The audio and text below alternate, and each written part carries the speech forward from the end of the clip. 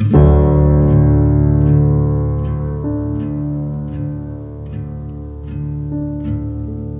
gente a veces se pregunta ¿Cómo ves el mundo? Esas cosas de otra manera. ¿Qué es lo que te lleva a crear cosas?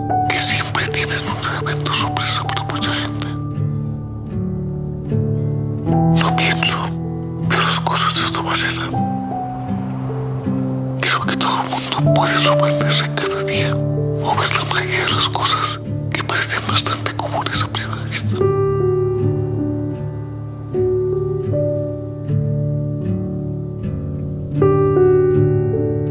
Me gusta observar las cosas tal y como las hacía de pequeño.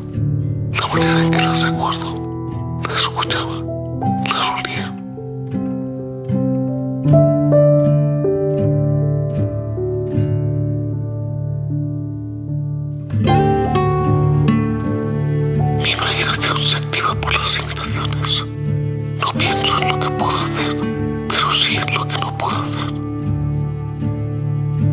Las imitaciones dan mis ideas, pensando en cómo puedo transformar algo que parece imposible a primera vista en algo real, una experiencia tangible que me da un gran impulso.